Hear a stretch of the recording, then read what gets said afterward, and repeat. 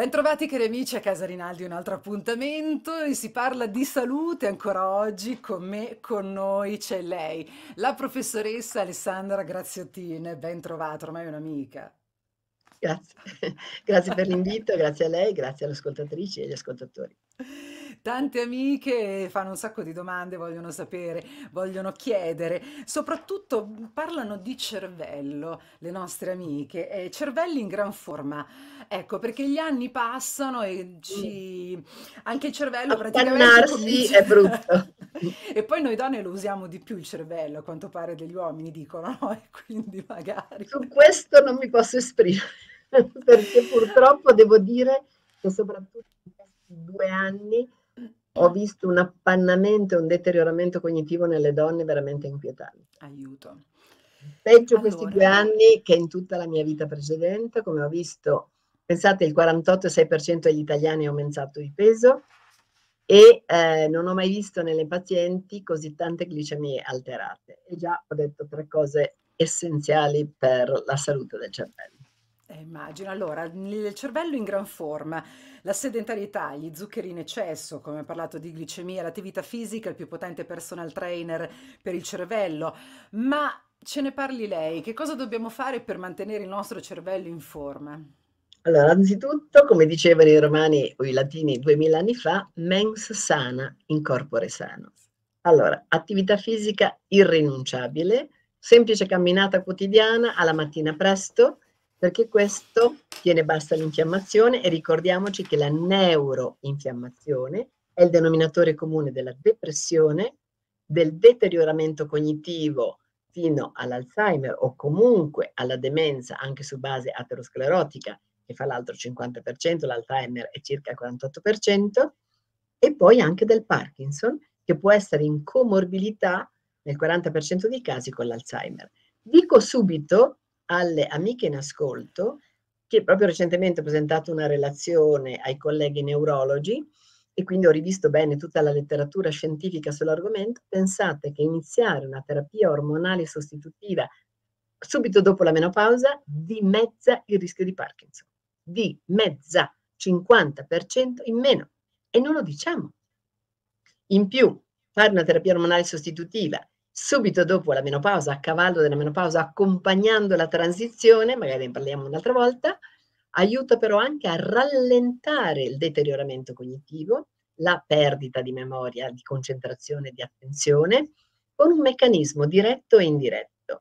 Il meccanismo diretto è perché gli estrogeni, il progesterone, il testosterone e il DEA sono grandi, proprio diciamo così, protettori della salute sia delle cellule nervose, i neuroni, sia della glia, le cellule gliali, che sono un po' le cellule nutrici, quelle che nutrono, prodotto, riparano i neuroni. Quando noi abbiamo un'alta infiammazione del cervello, le cellule nutrici, la glia, la microglia in particolare, vira da neuroplastica, cioè nutrice, protettrice, a neurotossica. E la neuroinfiammazione, lo ripeto perché è un concetto cardinale per, se vogliamo tenere il cervello in forma, è il denominatore comune della depressione, dell'Alzheimer, del deterioramento cognitivo e del Parkinson. Quindi, tanto per cominciare, la camminata veloce la mattina, terapia ormonale sostitutiva iniziata subito, non a 70 anni, con estraviolo, progesterone o progestinici, testosterone e il vaginale, perché per altra via non possiamo più darlo, valutando bene ovviamente la personalizzazione della terapia, vi do solo un concetto al quale c'è poca attenzione, il peso corporeo, che i pediatri hanno chiarissimo e noi medici degli adulti no. Eppure basta il buon senso, le taglie sono molto diverse tra una donna di 40 kg e una di 90 kg anche le dosi dei farmaci che noi usiamo dovrebbero essere molto differenziate, perché altrimenti la stessa dose di farmaco è inutile in un caso e tossica nell'altro o viceversa, inefficace, eccetera. Quindi, a parte questo, che però è una chiosa che merita attenzione, altra attenzione, cioè perché la terapia ormonale è amica del cervello? Sia perché mi va ad agire direttamente sulle cellule nervose migliorandone la manutenzione, per dire in termini semplici, sia perché mi protegge il cervello attraverso il, miglior- il migliorare la qualità del sonno. Tanto vero che uno dei primi sintomi della menopausa sono le vampate, e sono di più di notte, le sudorazioni notturne, il sonno che diventa superficiale con molti risvegli, le tachicardie notturne, ossia il primo dipartimento del cervello che va in crisi è quello che regola il sistema neurovegetativo, quindi tutta la nostra vita involontaria di cui il ritmo del sonno è un grande pilastro. Meglio dormiamo come qualità, non tanto come ore, 8 ore sarebbero la perfezione, 7-8, ma il come dormiamo, bene, migliore la qualità del sonno, migliore la protezione che noi andiamo a fare della nostra salute cerebrale.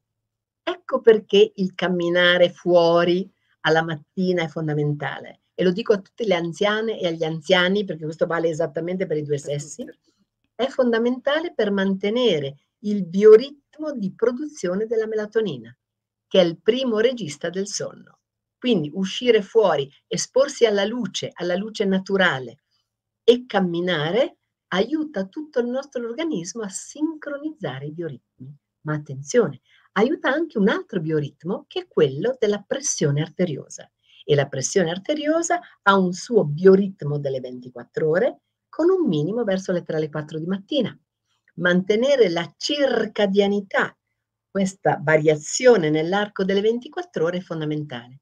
Vale anche per i battiti del cuore, vale per tutta l'efficienza cardiaca, vale per la pressione. Ecco che allora, camminando fuori di buon passo alla luce del sole, noi cominciamo ad aiutare non solo la salute generale, ma anche la salute del nostro cervello. Poi per cervelli in forma, ve lo chiedo con le mani giunte alle signore in ascolto, pochissimo alcol. Pochissimo alcol. Meno bevete meglio è. Potete tenervi un bicchiere il sabato se uscite, fine del film. Perché noi donne abbiamo meno della metà di un enzima che si chiama alcol deidrogenasi, che è quello che elimina l'alcol abbiamo meno della metà rispetto ai maschi. Quindi se si va a cena e beviamo due bicchieri a testa, a lui non gli fa niente dal punto di vista della tossicità. Anzi, se è rosso gli fa pure bene il resveratrolo per le arterie. A noi donne no, è tossico per il cervello. Fate molta attenzione perché la tossicità dell'alcol sul cervello delle donne è tremenda. Vi do un segnale e molti di voi diranno, urca vero, non ci avevo fatto caso. Quando voi bevete alla sera, noterete, e siete in menopausa, che si accentuano nettamente le tachicardie notturne, soprattutto se dormite sul lato sinistro. È il vostro cuore che vi dice, tesoro mio, fai attenzione.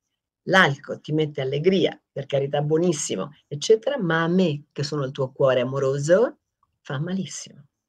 E fa malissimo anche al cervello.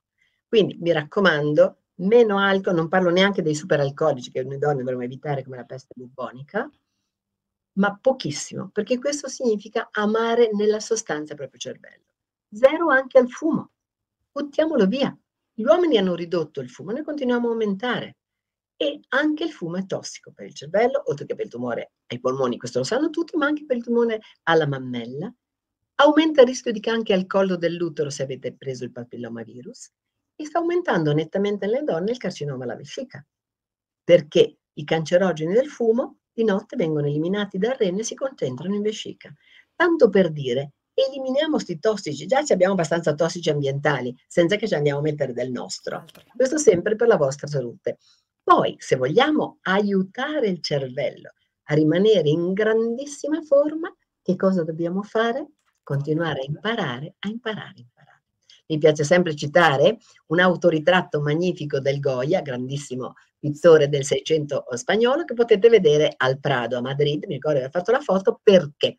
Perché questo autoritratto che lui ha fatto a 90 anni, c'è una frase bellissima, il suo motto a 90 anni, che adesso sarebbero come 130 adesso, perché 90 anni nel 600 era adesso 130, bene, lui ha scritto là a, a, a destra, proprio in basso, me lo ricordo benissimo, a un aprendo, che vuol dire imparo ancora.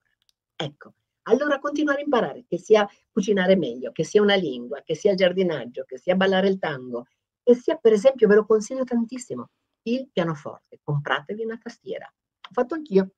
Comprate una tastiera pesata, con i tasti pesati, perché potete suonare in cuffia. E quindi non seccate i familiari, non seccate i vicini, potete suonare di giorno e di notte, non vi vergognate di tutti gli strafalcioni che fate, ma il piano o la, o la tastiera, o la cuffia ancora meglio, è fantastica perché eh, dovete leggere le due righe, suonare con le mani, a pensare al ritmo, eccetera, eccetera. Ragazzi, è un fattore di ringiovanimento cerebrale fantastico e poi un fattore di socializzazione.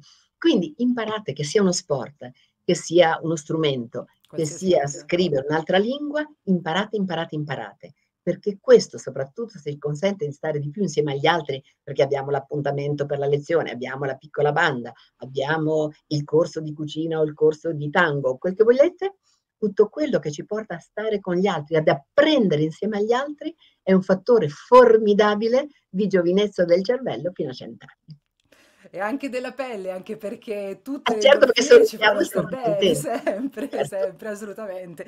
È come per me un grande apprendimento conoscere sempre di più, approfondire tutto quello che la professoressa Alessandra Graziottina ha da raccontare a me, a voi che state qui e che state qui ad ascoltare.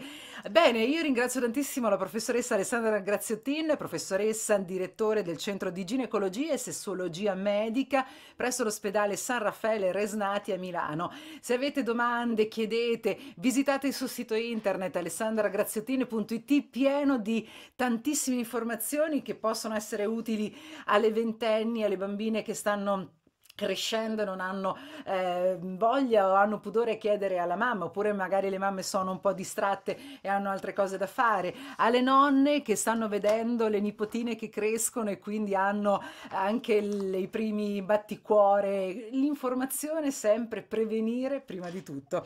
Noi, eh, Esatto. pro- professoressa, ci ritroviamo perché io la disturberò ancora, lei lo sa. Molto piacere, sì. con molto piacere, grazie a lei tantissimo anche ai vostri registi e ai nostri ascoltatori e soprattutto ascoltatrici. Presto, Alla grazie prossima, grazie.